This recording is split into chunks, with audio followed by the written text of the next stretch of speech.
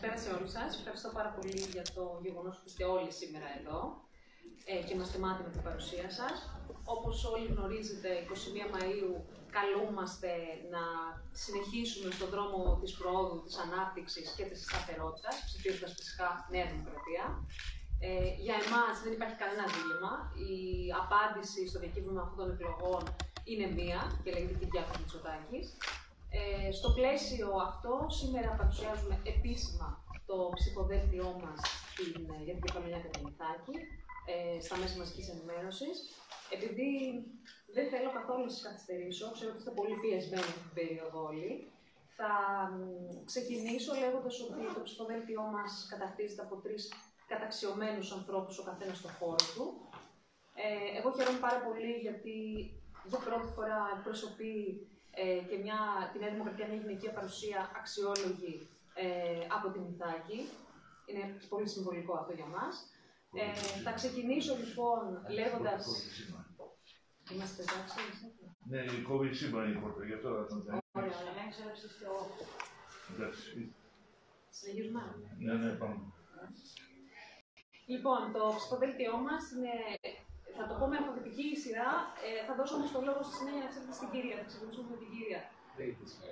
Ε, Βεβαίως. Ε, φυσικά ο Παναγής ο Καπάτος, ε, γνωστός ενεργεία βουλευτής, καταξιωμένος ε, δικηγόρος ε, παραλίω πάγων, δεν κάνω λάθος, διόρθωσέ με, από το 1999, ε, και με δράση στα τοπικά δρόμενα και στην τοπική αυτοδιοίκηση, θα μας τα πεις και εσύ σε λίγο. Ε, ο κύριος Ναπολέων Μαραβέγιας, ένας άνθρωπος ο οποίος έχει δώσει δείγματα γραφής, ε, γνωστός της Πάσης του Παντελήνιο για την, ε, την δράση του ως καθηγητής, ε, ε, πρώην αντιπρίτανης στο Πανεπιστήμιο Αθηνών, ε, πρώην Υπουργός Οδικής Ανάπτυξης, δεν θα τα πω όλοι, είναι πάρα πολλά. Ε, και φυσικά η Σμαράγδα Σαββελή, ε, καταξιωμένη στον χώρο της ως επαγγελματίας, ε, έχει διατελέσει έπαρχος ε, Ιθάκης, στέλεχος της Νέας Δημοκρατίας πάρα πολλά χρόνια, ε, πολύ δυναμική προσωπικότητα και νομίζω ότι και οι τρεις ε, και εμείς όλοι μαζί, ο αγώνας της Καλίας είναι κοινός, θα δώσουμε ό,τι καλύτερο μπορούμε ε, και μεγάλη προσπάθεια από όλους και θεωρώ, όπως είπα και πριν από λίγες μέρες, ότι η νίκη είναι μονόδρομος. Συμφωνείτε νομίζω όλοι σε αυτό. Ε, Σμαράγκα, θα ξεκινήσω από σένα. Θέλω να μας πεις λίγα λόγια και στη συνέχεια ο, ο κ. Παπάτος. Ωραία. Ευχαριστώ πάρα, πάρα πολύ, κυρία Κουμπή. Καλησπέρα σε όλους. Εγώ είμαι η Σμαράγκα Σαρδελή, όπως γνωρίζετε όλοι από την Ιθάκη, που ε, είμαι το τρίτο όνομα στο ψηφοδέλτιο της Νέας Δημοκρατίας το οποίο ανακοινώθηκε πριν από τρει-τέσσερι μέρες, όπως γνωρίζετε. Ε, θέλω να σας πω λίγα λόγια για μένα, και είπε η Γιάννα, η κυρία Κουλουμπή, είπε κάποια πράγματα. Εγώ ε, από τα γενοφάσκια είμαι με την Νέα Δημοκρατία, η οικογένειά μου ε, από ανέκαθεν, από πάπου προς πάπου, είναι με την Νέα Δημοκρατία και εγώ και ο πατέρας μου έχουμε περάσει από όλες τις βαθμίδες ε, από τη ΔΕΕΠ ε, μέχρι τη ΔΕΕΠ τέλος πάντων, ε, από το, την τοπική οργάνωση της Νέας Δημοκρατίας στη Συνθάκη. Ε, έχω περάσει από βαθμίδες αυτοδιοίκησης, ήμουνα πρώτος έπαθος, όπως είπε η κυρία Κουλουμπή, και αντιπεριφερειάζει στα μικρά νησιά της περιφέρειας Ιωνιονίσων. Και στόχος μου είναι να καταφέρω να μπορέσω να βοηθήσω τα νησιά μας, αλλά και την παράταξη. Κλήθηκα λοιπόν την έσχατη στιγμή ε, την τελευταία στιγμή, όπως ε, θεωρείται οι περισσότεροι, να μπορέσω να βοηθήσω την ε, παράταξη πλαισιώνοντάς τη με, το, με τη δικιά μου προσωπικότητα. Ε, αποδέχτηκα γιατί. Κατά πρώτον, γιατί είμαι με τη Νέα Δημοκρατία και δεν υπήρχε περίπτωση ποτέ να κληθώ ε, όπως ε, μέχρι τώρα έχω αποδείξει ότι είμαι στην πρώτη γραμμή, έτσι θα συνεχίσω να είμαι πάντα. Στόχος μου ποιος είναι; Στόχος μου είναι να μπορέσω να δώσω αυτό το κομμάτι που μπορώ εγώ τέλος πάντων στην παράταξη της Νέας Δημοκρατίας και να μπορέσουμε να πάρουμε την έδρα στα νησιά, την Κεφαλονιά και την Ιθάκη, να κάνουμε μπλέπα η Κεφαλονιά και την Ιθάκη όπως τα καταφέραμε το 2019 και φυσικά πρωθυπουργό του Κυριάκο του Μητσοτάκη. Ε, κάποιοι λένε ότι ίσως ε, δεν υπάρχει χρόνος αλλά εγώ θα σας πω ότι θεωρώ ότι υπάρχει χρόνος ακόμα. Δεν υπάρχει χρόνος, υπάρχει θέληση. Ίσως να μην είναι πολύ ο χρόνος, αλλά υπάρχει θέληση. Ε, η αποδοχή του κόσμου είναι πολύ θετική και πιστεύω ότι θα τα καταφέρουμε μέσα σε όλες τις δυσκολίες, γιατί η κυβέρνηση του Κυριάκου του Μητσοτάκη από το 2019 μέχρι σήμερα έχει βοηθήσει πάρα πολύ, ειδικότερα τα νησιά μας, την Κεφαλονιά και την Ιθάκη. Μετά, ειδικότερα από τις φυσικές καταστροφές, όπως ξέρουμε η Ανώ και Μπάλο, βοηθήθηκαν και η τοπική αυτοδιοίκηση, βοηθήθηκε πάρα πολύ, αλλά βοηθήθηκαν και οι ίδιοι πολίτες. Ε, θεωρώ ότι ήταν περισσότερο παρόν η κυβέρνηση από οποιαδήποτε άλλη φορά στα δύο νησιά μας, την Κεφαλονιά και την Ιθάκη. Ε, δεν θα σας κουράσω άλλο. Ε, με ένα στόχος μου είναι, ο πρώτος μου στόχος είναι να πάρουμε την έδρα, την Κεφαλονιά και της Κεφαλονιάς και της Ιθάκης, ε, να βγει η Νέα Δημοκρατία, αλλά και αν ε, καταφέρω και κερδίσω την εμπιστοσύνη και εγώ των πολιτών της Ιθάκης, την επόμενη μέρα θέλω να διαβεβαιώσω, να σας διαβεβαιώσω όλους ε, ότι ω στρατιώτης που είμαι πάντα στην πρώτη γραμμή, όπως είμαι και στην παράταξη, έτσι είμαι και στον τόπο μου, γιατί εγώ έχω συνδυάσει την πολιτική με την προσφορά. Για μένα η πολιτική είναι προσφορά. Θα κάνω το καλύτερο για τα νησιά μας. Ό,τι καλύτερο, ό,τι ανάγκες έχουν όσον αφορά είτε υγεία, είτε υποδομές, είτε συγκοινωνία, ή την πολιτική προστασία, που για μένα είναι ένα πολύ σημαντικό θέμα για την πολιτική προστασία συνδυαζόμενη με την υγεία και με την. Αυτά είναι αλληλένδετα. Πολιτική προστασία, υγεία και συγκοινωνίε θεωρώ ότι είναι τα μεγαλύτερα θέματα που αφορούν νησιά. Και την Κεφαλονιά και την Ιθάκη. Η Ιθάκη είναι μια μικρογραφία της Κεφαλονιάς. Είναι λίγο μικρότερη, αλλά τα προβλήματα είναι κοινά, πιστεύω όσο μπορώ θα βοηθήσω και την παράταξη και τα νησιά μας. Σας ευχαριστώ πάρα πάρα πολύ όλους που είσαστε απόψε κοντά μας. Θα κάνουμε το καλύτερο, συνεχίζουμε όλοι μαζί ενωμένοι. Θέλω να ευχηθώ καλή συνεργασία στους υποψηφίους μου, ε, τον κύριο Καπάτο και τον κύριο Μαραβέλια και να ακολουθήσουμε ένα αξιοπρεπή αγώνα με ήθος και αξιοπρέπεια. Ευχαριστώ πολύ. Ευχαριστώ. Καλή σας πέρα σε όλους. Θέλω να καλησπερίσω και δύο ειδικά ιστορικά στελέχη του κόμματος. Ιστορικά, όχι ότι είστε μεγάλη ηλικία, αλλά παρευρίσκονται εδώ απόψε, αλλά είναι ιστορικά. Όσα χρόνια είμαι κι εγώ στο κόμμα, θυμάμαι αυτές τις δύο προσωπικότητες, του κυρίου Κουρί και του κυρίου Παγουλάτου που βρίσκονται εδώ. Δεν θα αναφερθώ σε άλλους, αλλά απλά είναι οι δύο πιο παλιοί που θυμάμαι όσο είμαι εγώ σε αυτό το κόμμα. Πάντα στη Νέα Δημοκρατία, σε όλους τους προεκλογικούς αγώνες είναι, είναι, υπάρχουν κάποιες προσωπικότητες, ξέρετε, ε, οι οποίες σου έχουν χαρακτεί στο μυαλό. όταν βλέπεις λοιπόν τον Σωτήρη τον Κουρί και τον Μάκη τον Παγουλάκο μέσα στο κόμμα, λες αυτή είναι η Νέα Δημοκρατία. Είναι ένα κόμμα το οποίο είναι το πρώτο μετά την ε, μεταπολίτευση, ε, δημοκρατικό και παραμένει όχι μόνο δημοκρατικό, αλλά πάντα νέο κόμμα έχει μέσα ε, στην ετοιμιγωρία της η Νέα Δημοκρατία δύο λέξεις πολύ βασικές. Είχα αναφερθεί και την προηγούμενη φορά πραγματικά σε αυτό. Έχει τη δημοκρατία, άρα ένα κόμμα το οποίο υπηρετεί και εκφράζει τη δημοκρατία και είναι νέα δημοκρατία. Είναι πάντα νέα. Αυτό το κόμμα έχει αυτή τη δυνατότητα να εκφράζει πάντα τη δημοκρατία όπως πραγματικά πρέπει να είναι ε, ένα κόμμα και να υπηρετεί το πολίτευμα μιας χώρας. Είναι ένα κόμμα το οποίο έχει στα διαχρονικά από το 1974 που το ίδρυσε ο Κωνσταντίνος Καραμαλής μέχρι σήμερα ε, παίξει ένα πολύ μεγάλο ρόλο στη δημοκρατία της χώρας. Ε, ένα κόμμα εντελώς δημοκρατικό, με μεγάλους ηγέτες του κόμματος, οι οποίοι ήταν και ηγέτες της χώρας, με μεγάλες προσωπικότητες, ε, να μην τους αναφέρω όλους τους γνωρίζετε, θα κάνω μια αναφορά όμως στον ε, ιδρυτή της Νέας Δημοκρατίας, τον Κωνσταντίνο Καραμαλή, αλλά τώρα θα αρχίσω να ξεχνάω να πω για τον κύριο Ράλη και τα λοιπά, έπρεπε και αυτά, αλλά μετά θα σταθώ στον Κωνσταντίνο Μητσοτάκη, ε, θα σταθώ στον ε, επόμενο Πρωθυπουργό, ε, τον κύριο Σαμαρά και τέλος τον Κυριάκο Μητσοτάκη, ο οποίος είναι πραγματικά ένας μεγάλος ηγέτης αυτής της παράταξης. Και γιατί τον λέω ηγέτη; Τον ζω τώρα τέσσερα χρόνια ως πρόεδρο του κόμματος.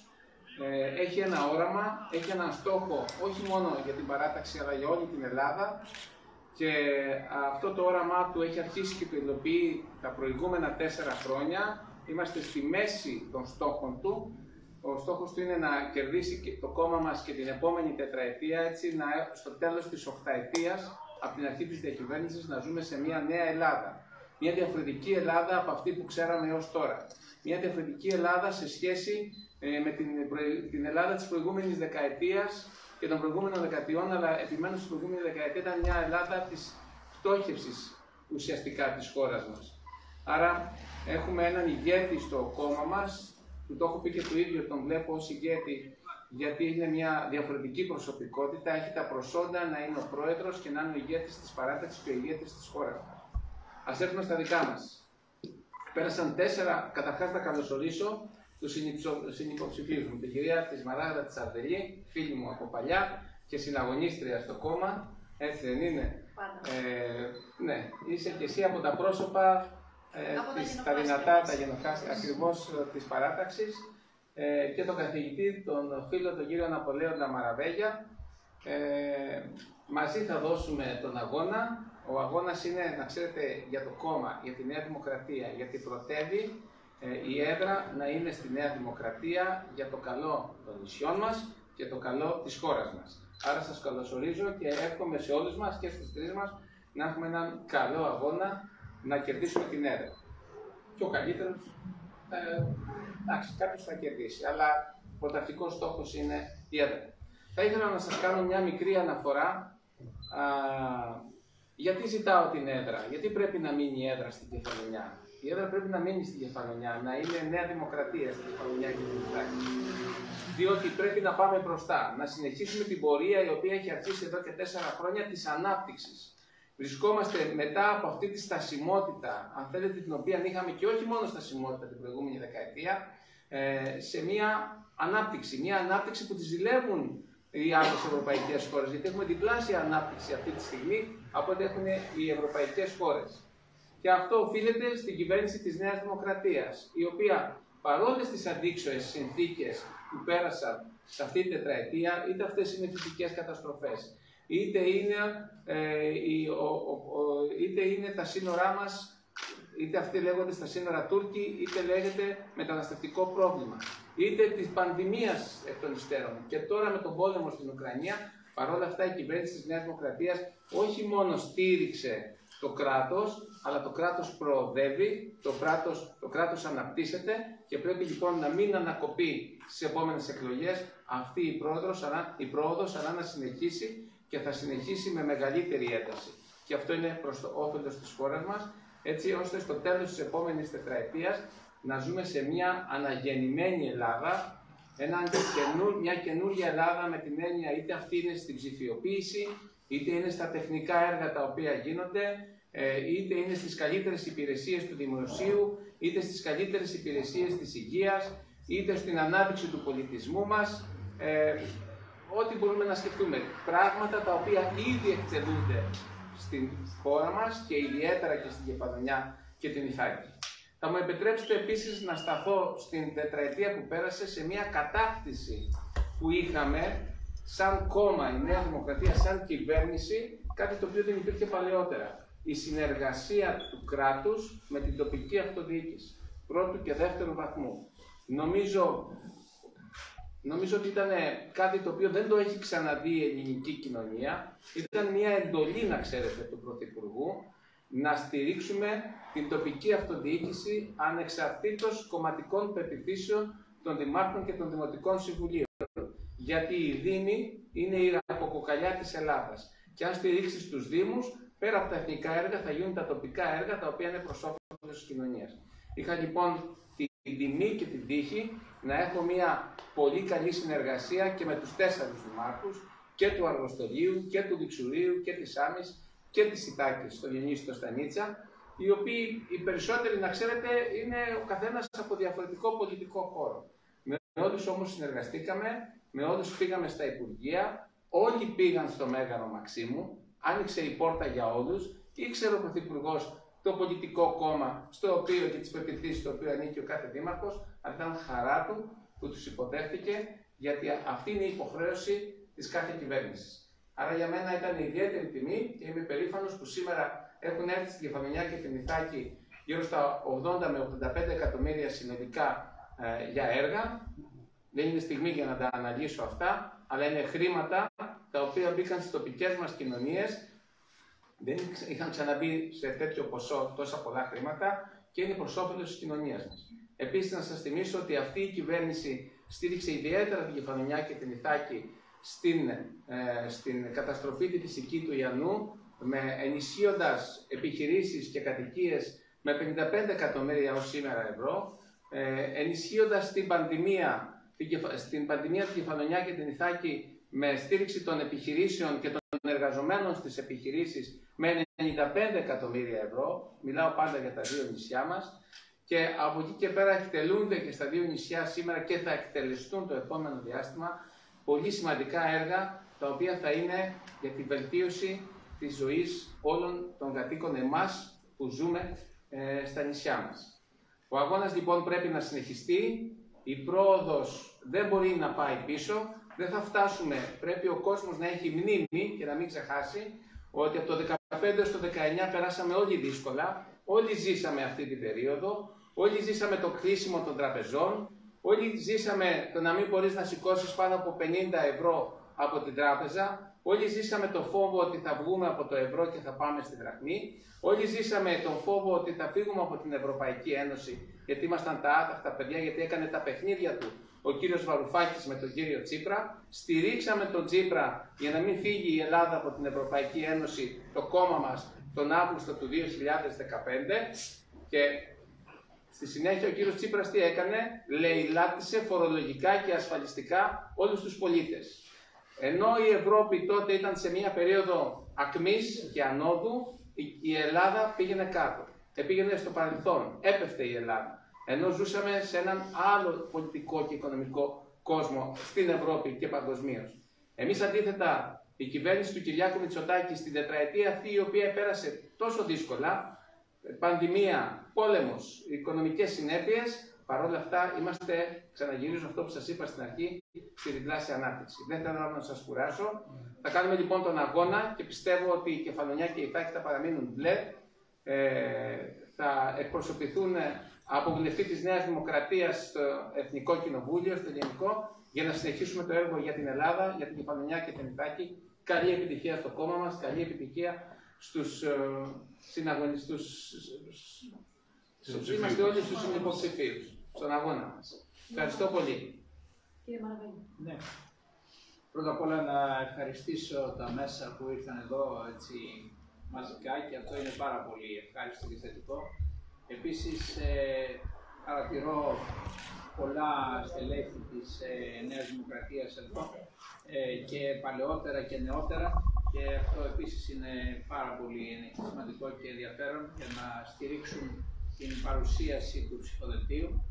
Ε, ευχαριστώ την κυρία Κουλουμπή ε, που είναι πρόεδρος της ε, νομαρχιακής εδώ και η οποία πήρε το, το βάρος αυτής της παρουσίασης και θέλω να σας πω ότι εγώ ε, όταν ε, ο Πρωθυπουργός μου ζήτησε να συστρατευτώ με το μεγάλο φιλελεύθερο κόμμα της Νέας Δημοκρατίας δεν ε, δίστασα για, ούτε για ένα λεπτό γιατί θεωρώ ότι ένας ε, καθηγητής που για πολλά χρόνια, πολλές δεκαετίες γράφει βιβλία και άρθρα σε εφημερίδες για το τι πρέπει να γίνει πρέπει κάποια στιγμή να αποφασίσει και αυτός να δει τι μπορεί να γίνει τι μπορεί να κάνει και ο ίδιος. Αυτό νομίζω ότι είναι και το πιο, ε, ο, ο, ο, ίσως ο μοναδικός λόγος για τον οποίο συστρατεύτηκα σε αυτό το μεγάλο κόμμα. Η σχέση μου με τον ε, Κωνσταντίνο, με τον ε, Κυριάκο Μητσοτάκη είναι ε, στενή. Έχουμε συναντηθεί αρκετές φορές και έχουμε συζητήσει πολλά ζητήματα για την οικονομική πολιτική. Εξάλλου, αυτή τη στιγμή είμαι ε, μέλος της Πενταμελούς Επιτροπής των Καθηγητών του Γραφείου Προϋπολογισμού του Κράτους στη Βουλή ε, και βλέπουμε, παρακολουθούμε τις ε, οικονομικές εξελίξεις, οι οποίες ευτυχώς είναι πάρα πολύ ε, ενδιαφέρουσες και πάρα πολύ, ε, θα έλεγε κανένας, συλλευτές από οποιονδήποτε. Είπε και ο κύριος Καπάτος προηγουμένως ότι η ανάπτυξη φέτος αλλά και πέρυσι και φέτος ε, για το επόμενο χρόνο, λέω το 2023, θα είναι διπλάσια, ο ρυθμός ανάπτυξης θα είναι διπλάσιος από τον ε, ρυθμό ανάπτυξης της Ευρωζώνης και γενικότερα άλλων χωρών, ανεπτυγμένων χωρών του, του ΩΣΑ. Αυτό είναι ένα επίτευγμα και δεν πέφτει από τον ουρανό προφανώς.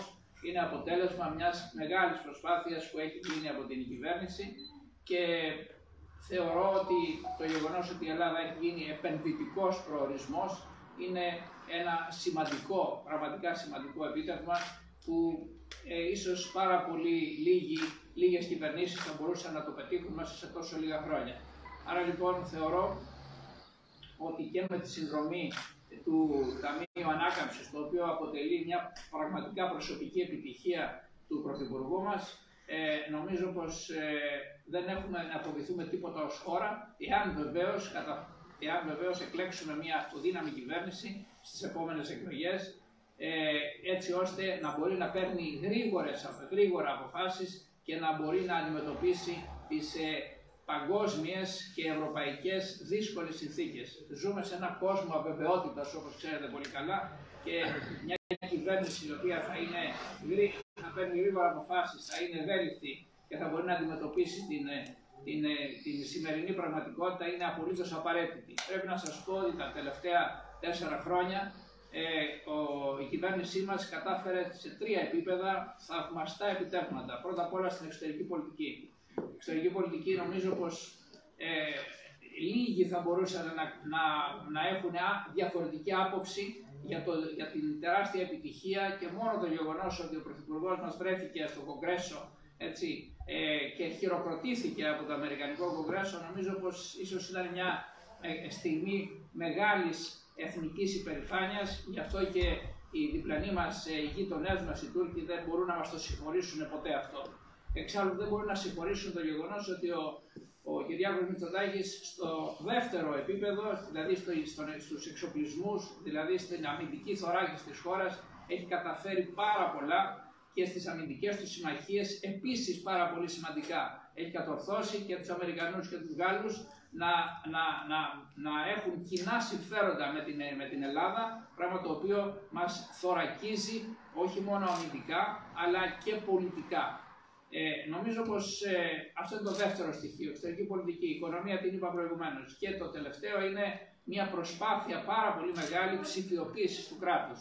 Αυτό νομίζω πως όλοι το ζούμε, όλοι το καταλαβαίνουμε, όλοι το ξέρουμε. Εγώ πρέπει να σας πω ότι μέσα σε, σε μερικές ώρες είχα το ποινικό μητρό που μου ζητήθηκε από την, ε, όπως ζητείται από όλους τους υποψηφίους, από την, ε, από την Νέα Νέα Δημοκρατία.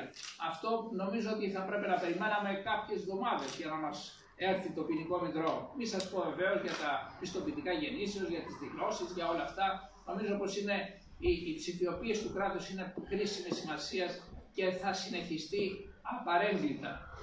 Άρα λοιπόν τρία σημεία, εξωτερική πολιτική, οικονομία και ψηφιοποίηση του κράτους, νομίζω πως είναι πάρα πολύ σημαντικά και η σύγκριση με την προηγούμενη τετραετία είναι καταλητική. Έτσι.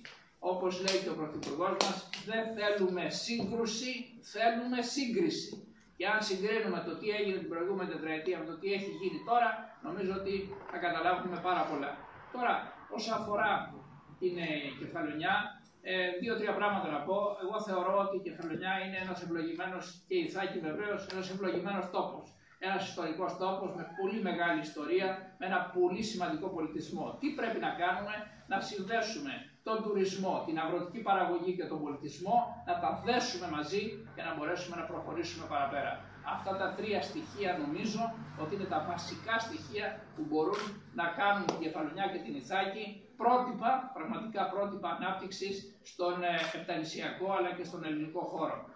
Αυτό θα προσπαθήσω με όλες μου τις δυνάμεις. Πολύ σύντομα θα έχετε και το, τις προτάσεις που, που που έχω κάνει. Είναι 30 προτάσεις, τις οποίες θα δούμε ε, σε ένα φυλάδιο το οποίο θα κυκλοφορήσω πάρα πολύ σύντομα.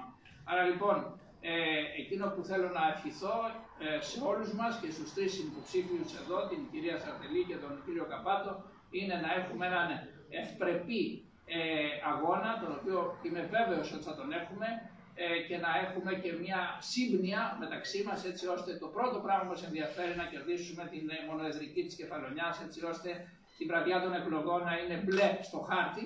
Και αυτό είναι, είναι ε, πάρα πολύ σημαντικό και η Νέα Δημοκρατία αποδίδει πολύ μεγάλη σημασία ε, στις μονεδρικές και βεβαίως στη μονεδρική της Κεφαλονιάς και της Ιθάκης. Εξάλλου πιστεύω ότι το ψηφοδέλτιο που έφτιαξε η Νέα Δημοκρατία είναι εξαιρετικό από κάθε άποψη και πιστεύω πως ε, θα, το, θα το αντιληφθούν αν δεν το έχουν ήδη αντιληφθεί οι συμπολίτες μας και θα, το, θα μας τιμήσουν και όποιος όποιος θεωρηθεί καλύτερος θα προφανώς θα κερδίσει. Αυτά ήθελα να σας πω και σας ευχαριστώ πολύ. Να κάτι δικό δικαστικό, όλοι θα μιλήσετε.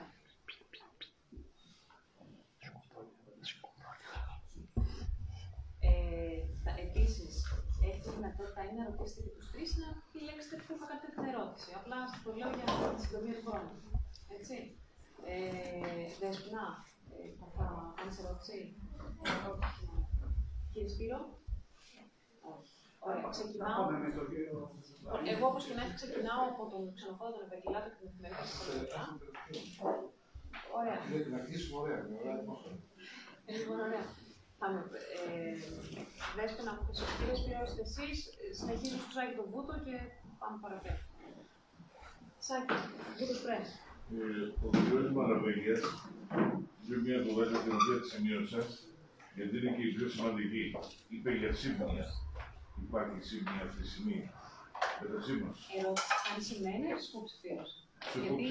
Α, εντάξει, γιατί μην κοιτάς και δεν ψήφισα. Ε, δεν τις αγαπάω για αυτό.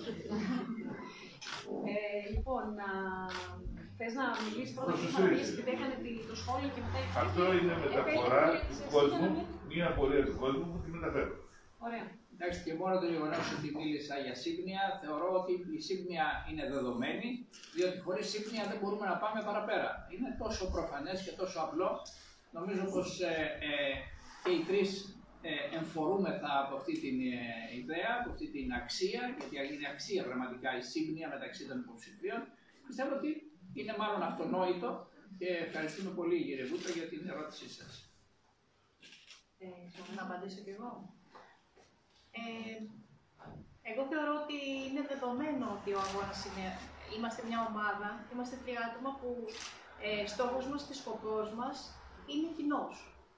Ε, το να πάρουμε την έδρα του νομού, των νησιών μας και να βοηθήσουμε την παράταξή μας.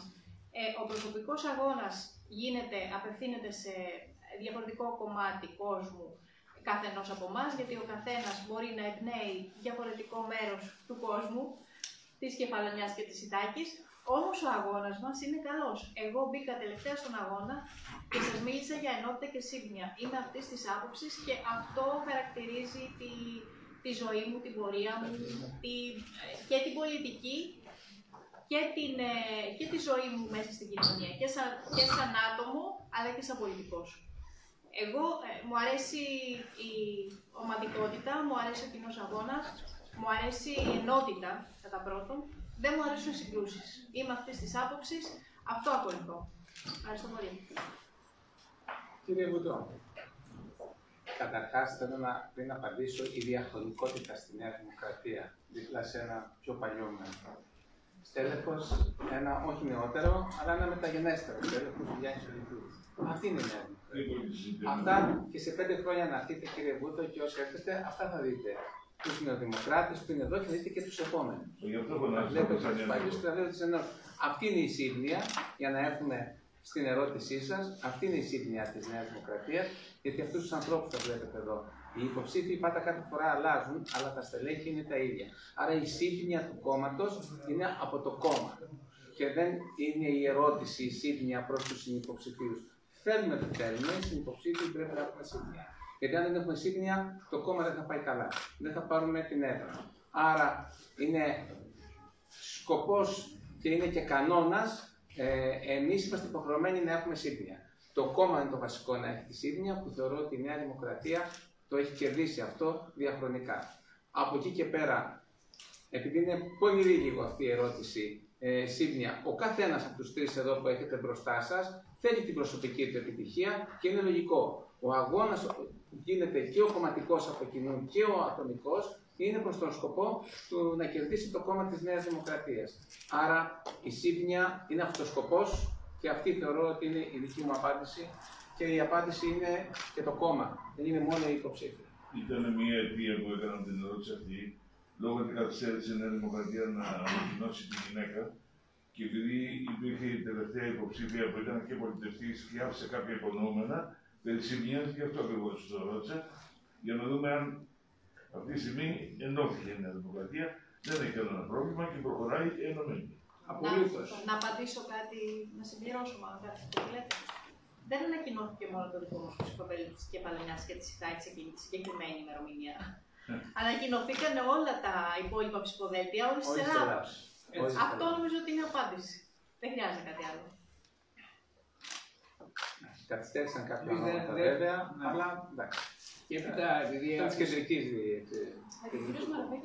Συγγνώμη ένα λεπτό. Και επειδή αφήσατε κάποιο υπονοούμενο για οι προσωπικέ πικρίε δεν μα αφορούν. Ξέρετε, αυτό είναι, δεν μα εγγύζει. Έτσι, και δεν, δεν σηματοδοτεί και καμιά κανόνα είδου ε, διχόνοια μέσα στα πλαίσια τη Νέα Δημοκρατία. Είναι η ενότητα τη παράταξη είναι δεδομένη και η ενότητα τη παράταξη τη Κεφαλονιά και στην Ιθάκη επίση δεδομένη. Και είπαμε αξιοπρεπή αγώνα. Αξιοπρεπή αγώνα σημαίνει ενότητα. Γιατί ξέρετε, άμα βλέπει κάποιο φωτογραφία, ας πούμε, το Καπάτο ή τον κύριο Μαραβέγια ή εσάς, να πηγαίνεις σε ένα χωριό και μετά την άλλη μέρα να πηγαίνει ο άλλος, Μα θα κάνουμε και την προσωπική μας επαφή. Θα κάνουμε την προσωπική μας επαφή, θα την κάνουμε. Την προσωπική σα επαφή για να βασίσετε τους ψήφους που έχετε εσύ και μπράβο σας. Σας είπα ότι ο καθένας από εμάς έχει διαφορετική μερίδα κόσμου. Είναι ξεκάθαρο αυτό νομίζω. Όχι, το λέω γιατί μεταφέρουμε τις απόψεις του κόσμου. Αυτό είναι ο σκοπός μας αυτό είναι. Δεν είναι να σας καλοπιάσουμε. Να σας πούμε μπράβο σας. Αν σας πω αυτά τα οποία λέει η κοινωνία, δεν πρόκειται να διορθωθείτε. Εντάξει, μπορεί να τους τα πει εκτός. Ευχαριστώ. Γιατί; Είναι σημαντικό να ε, Γιατί όταν βγάζω εγώ συνέντευξη, κυρία ε, Αλεξανδράτου και μου λέει για τη Νέα Δημοκρατία, δεν μπορώ να τα πω, να πούνε εδώ κάποια πράγματα. Ότι κάποιος είναι πολέμηση. Επειδή η κυρία Αλεξανδράτου δεν είναι παρούσα. Εντάξει.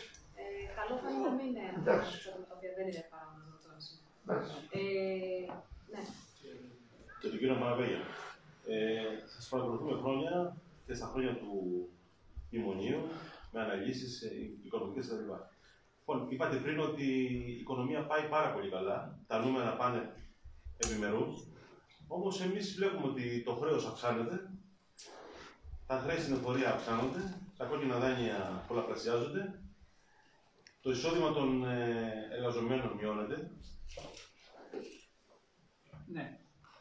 Πρώτα απ' όλα να με ρωτάτε αν αυτά τα κοιτεύματα της κυβέρνησης στο οικονομικό πεδίο που είναι ε, αποτυπώνονται στους αριθμούς, αν αυτά διαχέονται και στην υπόλοιπη κοινωνία. Στην ουσία αυτό λέτε. Ε, σας λέω μόνο δύο στοιχεία, ε, τρία μάλλον. Το πρώτο είναι ότι ο, ο κατώτατος μισθός ανέβηκε τα τελευταία τέσσερα χρόνια 20%, που είναι ένα μεγάλο ποσοστό και υπερκαλύπτει σε, σε κάποιο βαθμό, αν όχι πλήρως, τον ε, πληθωρισμό που είχαμε τα τελευταία χρόνια, το τελευταίο χρόνο μάλλον, αυτό είναι το πρώτο στοιχείο. Το δεύτερο στοιχείο είναι ότι η ανεργία από 17% που παρελήφθη από τη Νέα Δημοκρατία έχει φτάσει στο 10,5%. Έτσι. Και αυτό τι σημαίνει εισοδήματα για τον, για τον κόσμο. Έτσι. Δηλαδή η ανάπτυξη διαχέεται έτσι, μέσω των, της έβρεσης εργασίας. Ε, αυτό είναι Επίσης, ένα στοιχείο που δείχνει ε, τη διάχυση της ε, ανάπτυξης. Και το τρίτο στοιχείο που πολύ σωστά λέτε, ε, ίσως να άλλησε λίγο η κυβέρνηση, αλλά είδατε ότι έπεισε τις, τις τράπεζες επιτέλους έτσι, να σταματήσουν την άνοδο των επιτοκίων. Έτσι. Αυτό επίσης είναι σημαντικό. Μην νομίζετε ότι είναι εύκολο επίτευγμα να πείσει τι τράπεζες, οι οποίες δεν είναι κρατικές τράπεζες, να το ξέρετε, το ξέρετε πολύ καλά επίσης, και σε μεγάλο βαθμό δεν ανήκουν ούτε καν σε ελληνικά χέρια. Λόγω ακριβώς της προηγούμενης πολιτικής, να μην αναφέρουμε τώρα τους λόγους κλπ. κλπ. το πώς φτάσαμε εκεί. Ε, αυτό είναι ένα επίσης σημαντικό. Θεωρώ λοιπόν ότι κάνει ό,τι είναι δυνατόν η κυβέρνηση.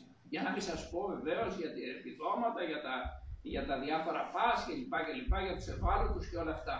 Νομίζω πως ε, είναι μία από τις παρότι είναι φιλελεύθερη κυβέρνηση στη ρίζα της, δηλαδή στηρίζει πραγματικά την ελευθερία του επιχειρήν, και αυτό είναι πάρα πολύ σημαντικό, γιατί μόνο η επιχείρηση δημιουργεί πλούτο, μην το ξεχνάμε ποτέ αυτό, έτσι. Παρά τα αυτά, νομίζω ότι η κυβέρνηση του εδώ έχει δώσει δείγματα κοινωνικής αλληλεγγύης πάρα πολύ σημαντικά. Και νομίζω ότι αυτά τα τρία στοιχεία είναι, είναι, είναι χαρακτηριστικά. Δηλαδή και η μειώθηκε η αλληλεγγύη και ε, έχουμε αύξηση του κατώτατου μισθού, 20% πάρα πολύ σημαντική και το γεγονός ότι σταμάτησαν πλέον να ανεβαίνουν τα επιτόκια ε, των ε, δανείων, τα οποία βεβαίως αν συνεχίζανε να ανεβαίνουν, ε, θα δημιουργούσαν μια νέα γενιά κόκκινων δανείων και βεβαίως θα υπέφεραν πάρα πολύ και οι δανειολήπτες, οι οποίοι είχαν βεβαίως οι περισσότεροι, αν όχι όλοι, περίπου οι μισοί, είχαν ε, δάνεια με κειμενόμενο επιτόκιο. Διότι αυτοί που είχαν με σταθερό επιτόκιο δεν είχαν πρόβλημα. Αυτά ήθελα να πω. Μπορώ να πω κάτι. Να πω κάτι σε αυτά. Το ιδιωτικό χρέο, κύριε Λακασά, έχει μειωθεί περισσότερο από όλα τα χρόνια. Το ιδιωτικό χρέο είναι οι οφειλέ ε, προ τι τράπεζε. Αυτή τη στιγμή είναι χαμηλά σε σχέση με ό,τι ήταν την προηγούμενη δεκαετία. Αλλά έχουν ανέβει προ την εφορία όμω. Ε, προς την εφορία, εντάξει, πάντα ανεβαίνει, κατεβαίνει. Έχουμε τις ρυθμίσεις τώρα οι οποίες ψηφίστηκαν την προηγούμενη εβδομάδα για τις 72 δόσεις 100. Οπότε... Τις οποίες μπαίνουν, μπαίνει ο κόσμος, πληρώνει και τι δόσεις και μετά βγαίνει. Εντάξει, είναι όμως ένα ευεργετικό εργαλείο και μια ευκαιρία για αυτούς που χρωστάνε, έτσι ώστε και το χρέος να βγάλουν από πάνω τους και το κράτος ε, να πάρει χρήματα για να μπορέσει να λειτουργήσει η κοινωνία. Άρα έχουμε το λιγότερο ιδιωτικό χρέος που είχαμε σε σχέση με την προηγούμενη δεκαετία και όπως είπε ο Ναπολέον, ε, ε, το σταμάτημα των επιτοκίων, το οποίο θα ανακοινωθεί τις επόμενες μέρες από την τράπεζα, θα έχει, είναι προς όφελος όλων μας για να μην έχουμε νέα αύξηση κόκκινων δανείων. Και θα πω και το εξής. Ένα πράγμα δεν έκανε η κυβέρνηση από αυτά που υποσχέθηκε. Αύξησε παραπάνω τους μισθούς από ό,τι είχε υποσχεθεί. Αυτό έκανε η κυβέρνηση. Αύξησε το μισθό, τον κατώτερο μισθό τρεις φορές, τον έφτασε ε, στα 780 ευρώ, κάτι το οποίο δεν το είχε υποσχεθεί, ξεπέρασε δηλαδή και τις προσδοκίες αυτές τις οποίες μας είχε πει. Δεν θα πω ότι ζούμε στον παράδεισο, προβλήματα υπάρχουν. Έτσι. Ε, αλλά όταν ανεβαίνει το κράτος, αναπτύσσεται το κράτος, αναπτύσσεται και η κοινωνία. Πρώτα θα πάει το κράτος και από πίσω αναπτύσσεται και η κοινωνία. Με τους ρυθμούς τους δύσκολους, γιατί μην ξεχνάτε ότι τα τελευταία τέσσερα χρόνια αναπτυσσόμαστε. Πιο πριν είμαστε ένα κράτος πτωχευμένο. Άρα δεν μπορεί να αλλάξει από τη μια μέρα στην άλλη οικονομία, αλλά τα δείγματα τα έχουμε δείξει. Τα δείγματα είναι πολύ θετικά και τα δείγματα που είχε δώσει το ΣΥΡΙΖΑ ήταν πολύ αρνητικά. Βαρυγκομούσε ο κόσμος ε, ε, της εποχής ΣΥΡΙΖΑ. Ελεύθερος επαγγελματίας, φόροι και ασφαλιστικές εισφορέ ήταν μαζί και τα δύο 75%, 75,5% επί, επί των εισπράξεων του ελεύθερου επαγγελματία. Πώς μπορούσε μια επιχείρηση να σταθεί τότε; Δεν μπορούσε να σταθεί. Ενώ εμείς μειώσαμε και φόρους και ασφαλιστικές εισφορές. Αυτά. Είναι κάτι άλλο; Ναι, ναι. Ε, προς γύρω καπάτο. Ε, ναι, ναι, ναι. Ε, τι ενέργειες θα κάνει η κυβέρνηση προς την κατεύθυνση μείωση της τιμής της ενέργειας, της ηλεκτρικής ενέργειας και των καυσίμων. Γιατί βλέπουμε ότι ενώ πέφτει η διεθνής τιμή του πετρελαίου, η βενζίνη παραμένει στα 2 ευρώ. Θα ξεκινήσουμε από το πρόσφατο παρελθόν. Όσο ήταν η ενέργεια ψηλά, τι έκανε η κυβέρνηση, ήρθε και βοήθησε, επιδότησε τους οικονομικά αδύναμους με τα fuel pass. Μην τα ξεχνάτε, ε, με, την, ε, ε, με την επιδότηση στο ηλεκτρικό ρεύμα. Έφερε τα οικιακά τιμολόγια ίσα, ε, πολλοί είχαμε περισσότερες εκτόσεις, μεγαλύτερο ποσό έκπτωσης παρά το ποσό που πληρώναμε. Άρα η κυβέρνηση ήρθε με επιδοματική πολιτική και η επιδοματική πολιτική, αυτά θα ξέρει καλύτερα ω οικονομολόγος βέβαια ο Ναπολέον, είναι στις περιόδους κρίσης. Δεν είναι στις κανονικές περιόδους, αλλά ήρθε σε αυτή την περίοδο κρίσης, γιατί περνάμε μια κρίση, γιατί έχουμε Κρίση την οποία επέφερε η πανδημία, κρίση την οποία επέφερε ο Ουκρανικός πόλεμος. Υπάρχει μια παγκόσμια ακρίβεια. Άρα η ακρίβεια στην Ελλάδα είναι εξωγενής. Και ήρθε λοιπόν με αυτή την πολιτική των, ε, των market pass και τα λοιπά η κυβέρνηση και στήριξε την κοινωνία. Είχαμε δει τελευταία ότι τα κάψιμα πέσανε και πέσανε αρκετά. Τώρα, για κάποιους λόγους, π.χ.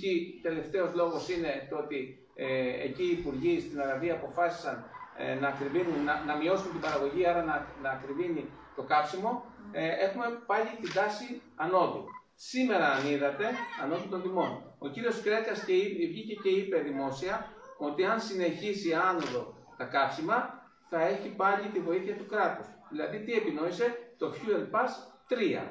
Άρα η κυβέρνηση θα επιδοτήσει, θα βοηθήσει σε αυτή την κρίση η οποία, για να σας δώσω να καταλάβετε, δεν είναι παντοτινή, είναι πρόσχερη. Θα σας θυμίσω κάτι. Ο, κύρι, ο, ο υποψήφιος του ΣΥΡΙΖΑ το καλοκαίρι, ο κύριος Φαραντούρης, όταν μιλούσε για την ενέργεια, προκαλούσε τρόμο. Όταν τον άκουγα, έλεγε συνέχεια για ακρίβεια, μου προκαλούσε τρόμο. Κι όμως διαψεύστηκε, γιατί στην πράξη, μέχρι προχτές έπεφταν οι τιμές και έπεφταν πολύ. Άρα, ε, κανείς δεν ξέρει, άρα αυτό γιατί τα λέω, είναι προσωρινά αυτές οι κρίσεις. Δεν είναι μόνιμες, ζούμε σε μια περίεργη κατάσταση. Όμως... Σε αυτή την περίεργη κατάσταση το κράτος θα έρθει να βοηθήσει όπως έκανε από τότε που ξεκίνησε η πανδημία όμως, εδώ. Όμω, κύριε Καπάτε, εξακολουθούμε και πληρώνουμε την πιο ακριβή βενζίνη στην Ευρώπη. Νομίζω είναι και αντιπαραγωγικό όλο αυτό. Αυτό προέρχεται διότι ανέκαθεν η Ελλάδα τους φόρου της του είχε στα καύσιμα. Έτσι, άρα γνωρίζουμε όλοι ότι είναι πάρα πολλοί φόροι στα καύσιμα. Έτσι. Αλλά έτσι στέκεται το κράτος και μπορεί και βοηθάει με τους φόρους τους οποίους εισπράττει τους, τους ασθενέστερους. Είναι για προς η ερώτηση. Θέλω να μου πείτε λίγο ο καθένας ε, τις τρεις προτεραιότητες που θα έχετε εφόσον εκλεγείτε για τα νησιά μας. Ποιος ξεκινήσει το πρόβλημα ή η Ρίτα. Ωραία. Εγώ σας το είπα και πριν. Ευχαριστώ πολύ για την ερώτηση. Ε, σας το είπα και πριν ποιες ήταν οι προτεραιότητες μου. Ε, υγεία, συγκοινωνία και πολιτική προστασία με αυτό σημαίνει. Για μένα ε, θεωρώ ότι είναι μείζον θέματα με ό,τι συμπεριλαμβάνω αυτά τα δύο για όλη την Ελλάδα, για, για όλες τις περιοχές, αλλά και κυρίως για τα νησιά, ειδικότερα τα μικρότερα νησιά. Η υγεία, η συγκοινωνία και η πολιτική προστασία. Κάτι που θα επιφέρει ασφάλεια στους πολίτες, ούτως ώστε και η διαμονή τους, αλλά και η ασφαλειά τους να είναι δεδομένη. Ευχαριστώ πολύ. Κύριε εγώ; Ναι. Okay. Λοιπόν, για τα νησιά μας. Θα συνεχίσουμε το έργο. Ε, μου έδωσε την ευκαιρία ο λαός μας της Κεφαλονιάς και της Ιτάκης και με εξέλεξε βουλευτή την τετραετία που μας τελειώνει τώρα. Σε αυτά τα τέσσερα χρόνια γίνανε αρκετά, πολλά πράγματα. Δεν έγιναν όλα. Ε, άρα, ποιος είναι ο πρώτος στόχος; Ο πρώτος στόχος είναι να υλοποιηθούν οι χρηματοδοτήσεις τις οποίες έδωσε η κυβέρνηση στην Κεφαλονιά και την Ιθάκη. Είναι χρηματοδοτήσει 85 εκατομμύρια και έργα που δεν ξεκίνησαν. Άρα ο πρώτος στόχος, αν οποιοδήποτε βουλευτής βγει, αν είμαι εγώ, θα είναι ο δικός μου, ε, είναι να υλοποιηθούν πρώτα τα έργα. Γιατί είναι πολλά τα χρήματα και δεν πρέπει να μείνουν στάσιμα, αλλά πρέπει να γίνουν τα έργα. 85 εκατομμύρια θα αλλάξουν τη μορφή της Κεφαλονιάς και της Ιθάκης. Από εκεί και πέρα, ποια θα είναι η έμφαση την επόμενη μέρα, την επόμενη τετραετία. Η έμφαση πρέπει να είναι σε μεγάλα έργα, γιατί έχουμε τη δυνατότητα να πάρουμε μεγάλα έργα. Αυτό σημαίνει, όταν εννοώ μεγάλα έργα, εννοώ λιμάνια. Για τα αργοστόλη μπορούμε να φτιάξουμε το εμπορικό λιμάνι, μπορούμε να φτιάξουμε ένα καινούριο μπαστούνι τουριστικό, μπορούμε να επεκτείνουμε το βιολογικό καθαρισμό, ε, μπορούμε ε, να τακτοποιήσουμε τα θέματα ε, των κτηρίων των σωμάτων ασφαλείας, ε, της αστυνομίας δηλαδή και της πυροσβεστικής. Ε, θα, θα, θα μείνουμε αρρωγοί στους Δήμους, γιατί οι Δήμοι είναι αυτοί που αποφασίζουν για τα έργα, το τι θέλουν να κάνουν. Η τοπική αυτοδιοίκηση είναι αυτή που θα αποφασίσει ποιο είναι το μέλλον της, ε, της, ε, ε της, ε, του τόπου. Ο βουλευτής δεν αποφασίζει για έργα. Αν το κάνει είναι λάθος. Η τοπική αυτοδιοίκηση αποφασίζει για τα έργα του πρώτου βαθμού και του δεύτερου βαθμού της περιφέρειας. Αυτούς έχουμε υποχρέωση να συνδράμουμε έτσι ώστε να αναπτυχθεί η κοινωνία μας. Αλλά αν θέλετε να σας πω και κατά τόπους περιοχές, στη Σάμι πρέπει να κοιτάξουμε ε, να, να γίνει η ίδρυυση στο Πυργή μέχρι τη Σάμι. Πρέπει να αναπτύξουμε το αρχαιολογικό πάρκο, ένα τεράστιο αρχαιολογικό πάρκο που ξεκινάει από τον Πόρο και πηγαίνει ανατολικά όλη την ακτή της Κεφαλονιάς και η Σάμι έχει ένα πλούσιο αρχαιολογικό πάρκο και συνεχίζει αυτό, Αγία Επιμία και πιο βόρεια. Θέλετε να σας πω ε, για την Ιθάκη, βιολογικός καθαρισμός, απόλυτη ανάγκη να υπάρξει βιολογικός καθαρισμός, κάτι το οποίο αυτή τη στιγμή το δουλεύουμε με τον Δήμαρχο, τον κύριο Στανίτσα. Ο βιολογικός καθαρισμός, ένα πάρα πολύ μεγάλο έργο. Ε, θα κοιτάξουμε την ίδρυυση της Ιθάκης. Θα κοιτάξουμε την ανάδειξη του αρχαιολογικού πλούτου της Ιθάκης, της ομυρικής Ιθάκης. Έτσι, γιατί η Ιθάκη ποια είναι, είναι η ομυρική Ιθάκη. Να έρθουμε στο Λιξούρι, πρέπει στο Λιξούρι να κοιτάξουμε τις υποδομές, να κοιτάξουμε το λιμάνι του Λιξουριού, το οποίο το έχουμε εντάξει σε ευρωπαϊκό πρόγραμμα και θα χρηματοδοτηθεί τις επόμενες μέρες με ποσό 1 εκατομμύριο για την αποκατάσταση των καταστροφών που έπαθε από τον Πάλο και από τον Ιαννό. Πρέπει όλες τις περιοχές να τις δούμε. Αλλά η, η δική μου γνώμη είναι ότι πρέπει να σεβαστούμε την τοπική αυτοδιοίκηση. Η τοπική αυτοδιοίκηση που εκφράζει η τοπική, τον κάθε έναν πολίτη, γιατί αυτοί είναι εκλεγμένοι για το καλό του κάθε Δήμου, αυτοί έχουν το δικαίωμα και αυτοί και την υποχρέωση και το δικαίωμα να, να επιλέξουν τι θα κάνουν για το Δήμο τους και εμείς έχουμε υποχρέωση αυτή την απόφαση να τη στηρίξουμε, να χρηματοδοτηθεί, να εκτελεστεί κάτι που έκανα και ως σήμερα. Ευχαριστώ. Ε, όπως είπα και νωρίτερα, νομίζω πως αυτή χρειάζεται απολύτως μια προσπάθεια να συνδέσουμε, το είπα και νωρίτερα, λέω, ε, τον ε, τουρισμό, τον πολιτισμό και την, και την αγροτική μας παραγωγή. Αυτό νομίζω πως είναι ένα εξαιρετικό, εξαιρετική έτσι, σκέψη, γιατί νομίζω ότι και τα τρία στοιχεία θα πρέπει παράλληλα έτσι, να αναπτύσσονται. Και ταυτόχρονα θα πρέπει να δούμε τα βασικά στοιχεία των υποδομών, μαζί βεβαίως και με την υγεία. Εγώ όσες ε, περιοδίες έχω κάνει σε διάφορα χωριά και όχι μόνο και στο Λιξούρι και στη Σάμι κλπ. Ε, τα χρησιμότερα ζητήματα είναι τα ζητήματα της υγείας, πάρα πολύ σημαντικά. Το δεύτερο ζήτημα είναι το ζήτημα το, της ίδρυυσης του νερού και της αποχέτευσης, βιολογική καθαρισμού και όλα αυτά σχετικά. Είναι κρίσιμα ζητήματα. Και το, το τρίτο στοιχείο που πολλές φορές ε, συναντώ, βεβαίως, ε, είναι πώς, τι θα κάνουμε για την ανάδειξη του πολιτιστικού πλούτου αυτής, αυτού, των, αυτού των νησιών. Στην ε, Ιθάκη βεβαίως υπάρχει, έχει ήδη ξεκινήσει νομίζω το Οδυσσιακό Κέντρο και πρέπει αυτό να στηριχθεί οπωσδήποτε, να γίνει διεθνούς ε, εμβέλειας και να έρχονται άνθρωποι ε, από όλο τον κόσμο στην Ιθάκη, ακριβώς για να ε, δώσουν την, ε, τα φώτα τους, να υπάρχουν σεμινάρια, έρευνα κλπ. Είναι κρίσιμο θέμα, το θεωρώ αυτό πολύ σημαντικό. Ε, στην γιατί στη Σάμι, πολύ σωστά επειδή ο Σκαπάτος, υπάρχουν πραγματικά αρχαιολογικοί θησαυροί εκεί, οι οποίοι πρέπει να αναδειχθούν το συντομότερο δυνατό. Ε, στην, ε, στην περιοχή εκείνη του Ελιού Πρόνων υπάρχουν κοσμί, πραγματικά κοσμήματα όπως είναι ο θολωτός τάφος, ο οποίος ακόμα βρίσκεται, δεν έχει τελειώσει αυτή η ιστορία. Υπάρχει το μοναστήρι της Άτρου, το οποίο είναι εξαιρετική σημασία, νομίζω για ολόκληρη την κεφαλονιά, αλλά δυστυχώς ο δρόμος δεν έχει πραγματοποιηθεί, δεν έχει γίνει ακόμα. Ε, ε, επίσης, για το, στο πολιτιστικό πεδίο υπάρχει το κτήμα Λαβράγκα, το οποίο εδώ και 20 χρόνια και όταν ήμουν πρόεδρος του ΤΕΗ προσπαθήσαμε κάτι να κάνουμε, δεν έγινε απολύτως τίποτα ακόμα. Έτσι.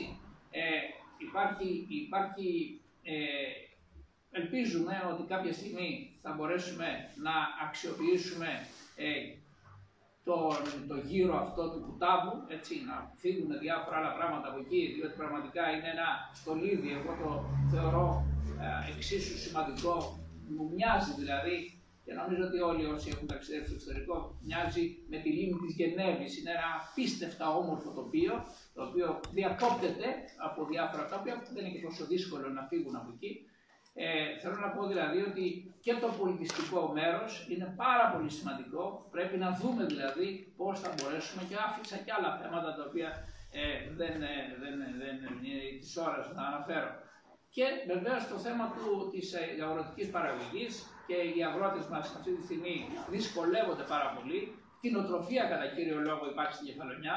Πρέπει να δούμε τι θα γίνει και με τα θέματα ε, του γάλακτος, τα, τα, του κόστους παραγωγής των κτηνοτρόφων.